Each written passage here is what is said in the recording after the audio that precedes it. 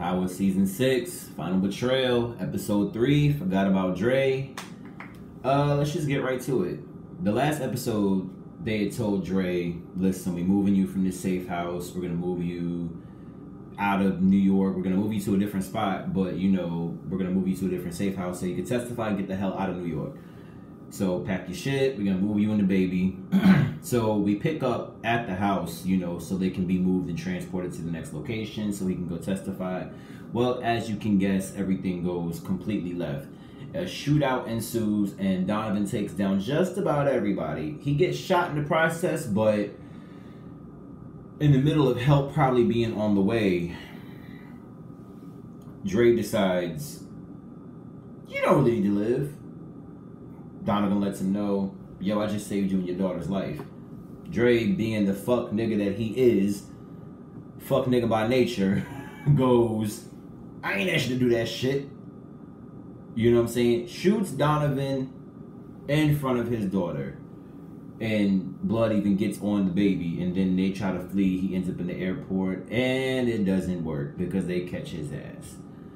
I don't know why he thought it'd be that easy, but you know, it wasn't. Let's see.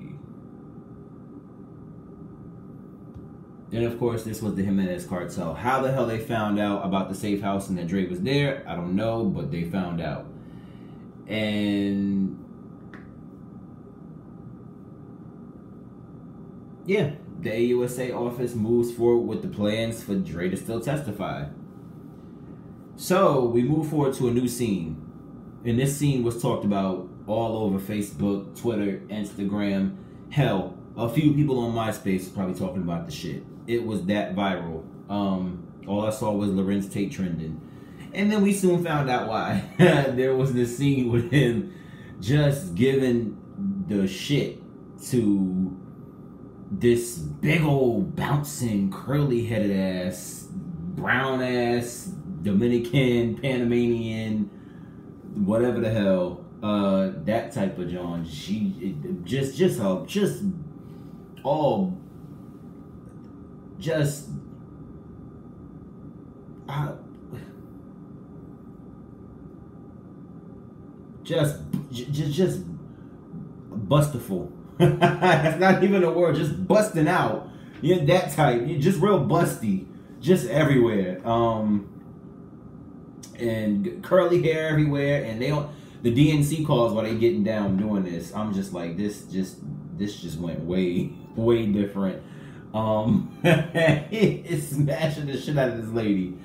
And um long story short, he's on the phone with the DNC. He thinks the DNC is about to pump more money into his campaign and he's wrong. So we pick up at Tate headquarters and as we go to the office, we see that the lady he's in bed with is not his girlfriend, not his wife, not his fiance, but oh, she belongs to the white man that he fucked up in the previous episode, his staffer that he blamed for being embarrassed at his press conference.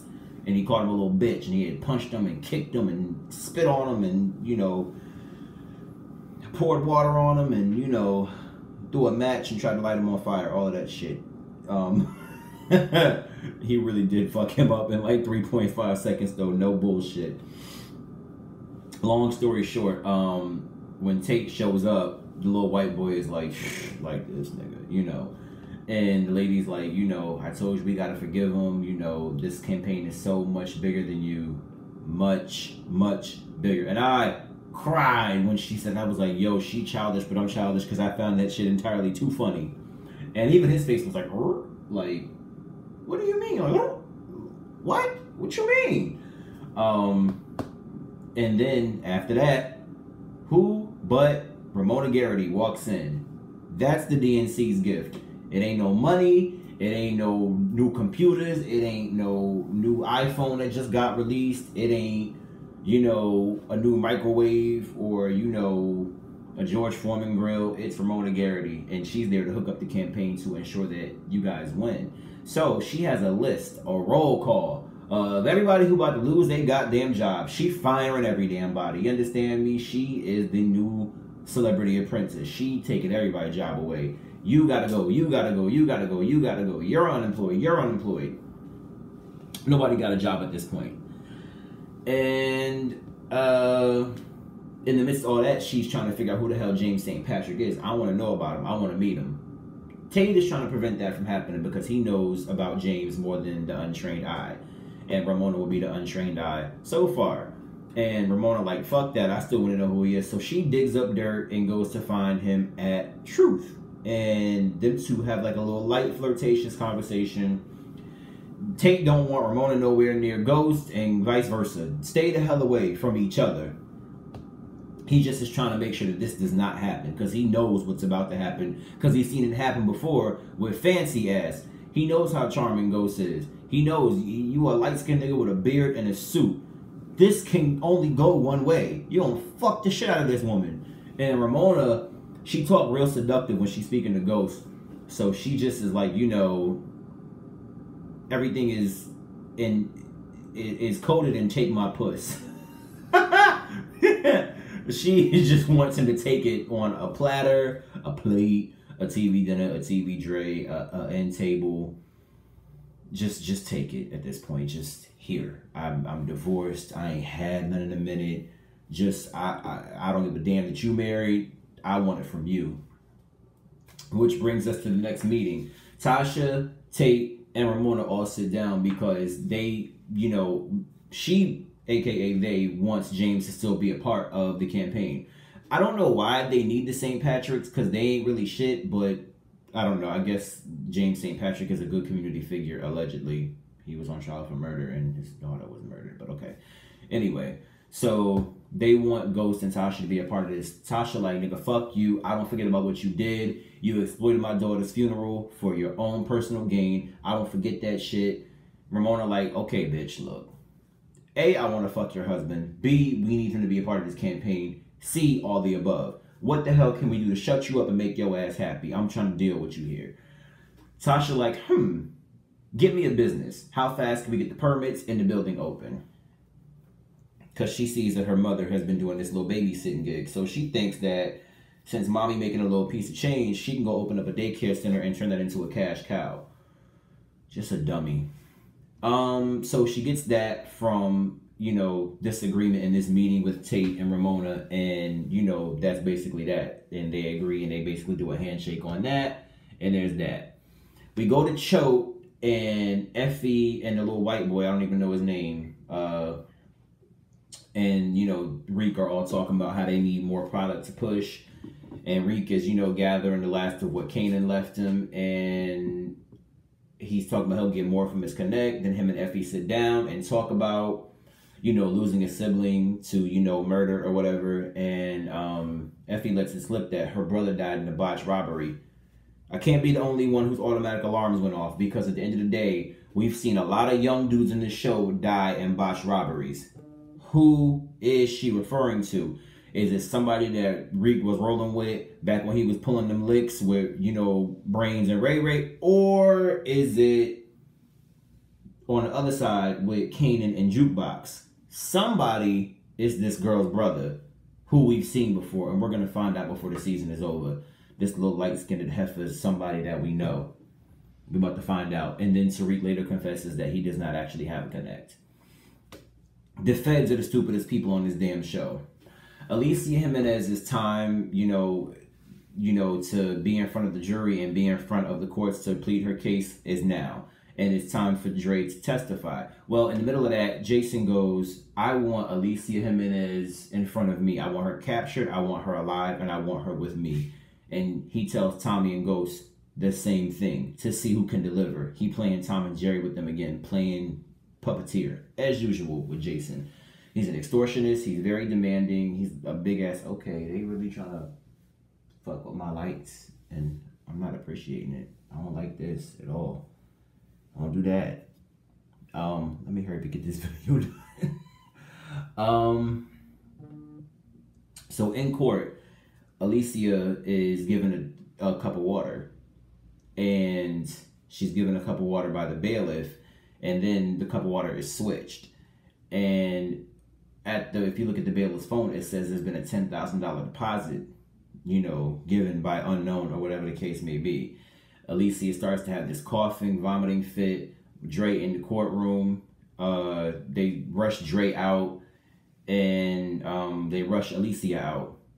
And Tommy's plan is starting to ensue. He got a whole body of people. He got his whole crew involved in this. Uh, he got Two Bit and what's the other dude's name? Spanky. And then he got Keisha there as well. Ghost has no bodies because this is not Ghost Field anymore. He doesn't do this. He allegedly, supposedly, apparently is legit now.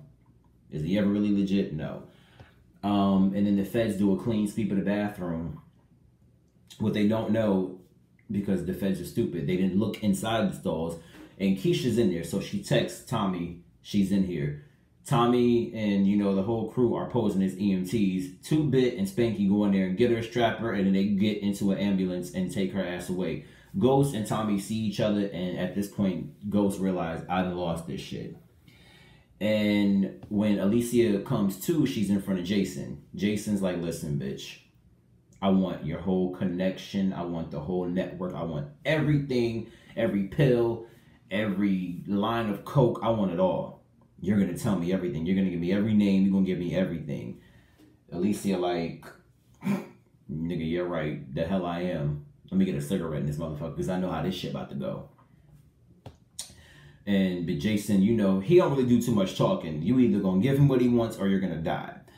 And Alicia, being the smartass that she is, the you know eternal smartass, she like, whoever did this shit to you, whoever did this shit to me, gonna do it to you too. So, and he shoots her while she's smoking, and he shot her the chest and the neck, and the smoke was coming out of her. It, it's not funny, but it was like some, it was like some Beetlejuice shit because the smoke was coming out of her. And then, damn Tommy, you know he loved to kill everybody. Tommy is pissed. He like, I wanted to kill this bitch. And Jason like, okay, but I want to kill her.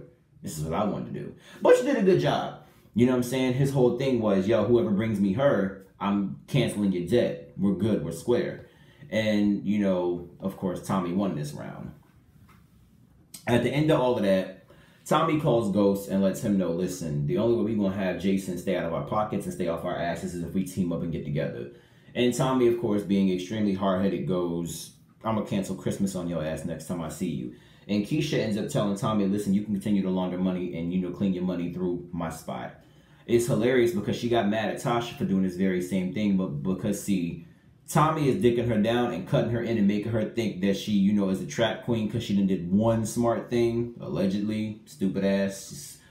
you know, now she in love and now she thinks she Tommy, you know, she thinks she a queen pin. So, you know, now she, you know, and low key, I always felt like Keisha wanted to be Tasha and this is her chance. So she wants Tasha as close to, you know, her old life and she wants to be in Tasha's, you know, uh, you know, well, excuse me, she wants Tasha, I guess, to be is close to her old life, meaning Keisha's old life, and Keisha wants to be in Tasha's old life, meaning, you know, the first lady of the drug world. And that's really that for that episode. So,